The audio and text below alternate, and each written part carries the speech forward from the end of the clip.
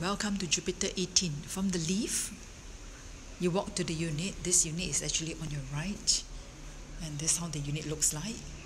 You come in, it's actually very bright, very windy. You have this open kitchen with a washing machine, white color kitchen cabinets, your sink,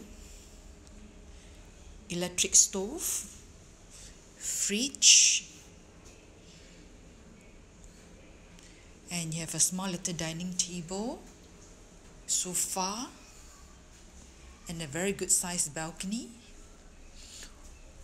The one in front is actually a landed property. And you have your TV, TV console, and this is your room. Good sized master room that you know it's just nice that you can actually house your queen bed with mattress and you have a two door wardrobes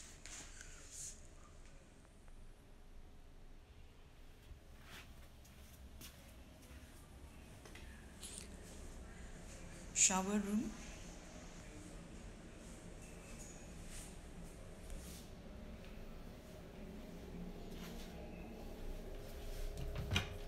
Behind this mirror is actually a cupboard that you can store all your toiletries and you still have another study area here.